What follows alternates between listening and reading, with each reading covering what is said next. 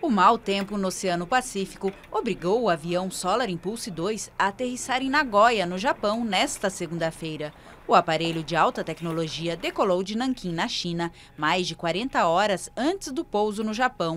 A previsão inicial é de que a aeronave levaria seis dias e seis noites para chegar a seu destino, o Havaí, a cerca de 8.500 quilômetros de distância.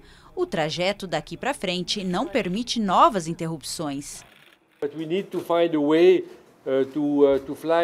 Precisamos encontrar um jeito de voar até o Havaí, porque não há local para aterrissarmos antes do destino final. Talvez seria ótimo se fosse amanhã, mas eu acho que vai demorar alguns dias. Oh, but I guess it will take certainly a few days until we find this, uh, this specific window.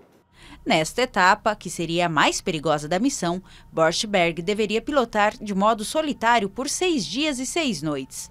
O avião decolou em 9 de março, em Abu Dhabi, nos Emirados Árabes Unidos, para uma volta ao mundo pioneira em um avião movido exclusivamente a energia solar.